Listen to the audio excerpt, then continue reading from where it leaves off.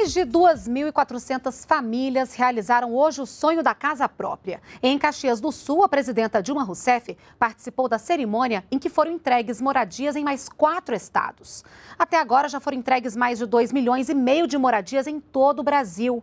1 milhão e 600 mil estão em construção. Marisa conta as horas para mudar de residência. Por mais de 12 anos, o endereço dela foi esta casa de madeira, aqui em Caxias do Sul, na Serra Gaúcha. A moradia tem cozinha, sala, banheiro e apenas um quarto. Por isso, o filho mais velho, Tiago, de 18 anos, mora com a tia. A família de Marisa é uma das 320 contempladas com um apartamento do conjunto residencial Campos da Serra, construído com recursos do programa Minha Casa Minha Vida. A parcela é de 40 reais no total é de 4.800 para mim pagar em 10 anos. Com a nova moradia, o Tiago vai voltar a morar com a mãe. Agora vai ser bem mais melhor para a gente, daí eu vou ir lá para até ajudar a cuidar do Cauã. Cada apartamento tem 64 metros quadrados de área construída. Tem cozinha com área de serviço, banheiro, dois quartos e sala.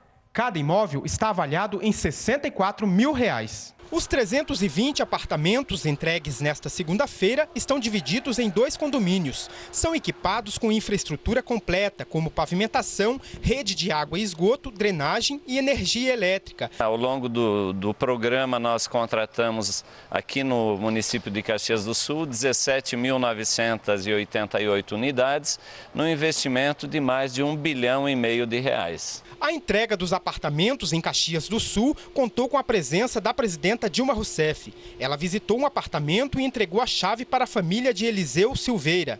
No total, 2.432 famílias receberam as chaves de moradias nesta segunda-feira em cinco estados. Além de Caxias do Sul, foram entregues apartamentos em Três Lagoas, no Mato Grosso do Sul, Sobral, no Ceará, Jundiaí, em São Paulo e Paracatu, em Minas Gerais. A presidenta Dilma participou da entrega de todas as unidades por meio de videoconferência. Nós já entregamos mais de 2 milhões e 500 mil moradias. E já, já tem, então, 2 milhões e 500 mil famílias com a chave da sua casa própria.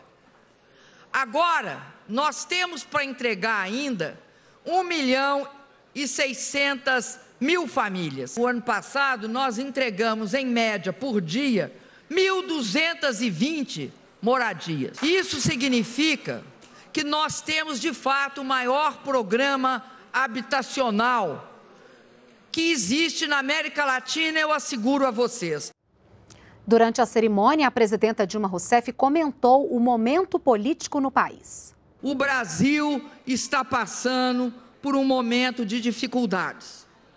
Uma parte desse momento de dificuldades é devida também à sistemática crise política. Um governo sempre quer a unidade do país. E a oposição tem absoluto direito de divergir, mas a oposição não pode sistematicamente ficar dividindo o país. E sabe por que não pode? Porque tem certo tipo de luta política que cria, que cria um problema sistemático, não só para a política, mas para a economia, para a criação de empregos, para o crescimento das empresas porque ninguém fica satisfeito quando começa aquela briga. Agora, não é possível atribuir, não é possível aceitar que no Brasil nós tenhamos pessoas que jamais se recusaram a depor, como é o caso do presidente Lula. Nunca se recusou, nunca se achou Nunca o presidente Lula, justiça seja feita, nunca se julgou melhor do que ninguém. Sempre aceitou, convidado para prestar esclarecimento, sempre foi. Então, não tem o menor sentido conduzi-lo, como se diz, sob vara, para prestar depoimento, se ele jamais se recusou a ir. Ainda em Caxias do Sul, a presidenta Dilma Rousseff falou sobre o combate ao mosquito Aedes aegypti. O vírus Zika, ele é transmitido pelo chamado mosquito da dengue, o Aedes aegypti. E ele, ele precisa de água parada, limpa ou suja, não interessa, é água parada, é lá que ele se reproduz. Nós temos feito uma política muito forte para buscar a vacina do Zika vírus.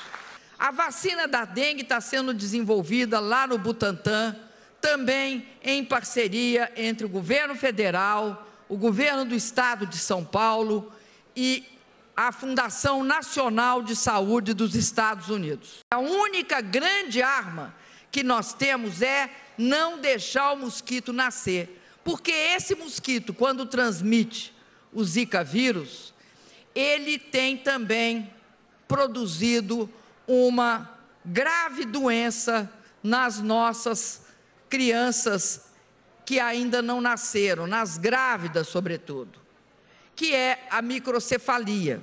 Nós viemos pedindo que uma vez por semana, uma vez por semana, 15 minutos, cada família, cada, cada um de nós, faça uma vistoria na sua casa para acabar com a água parada.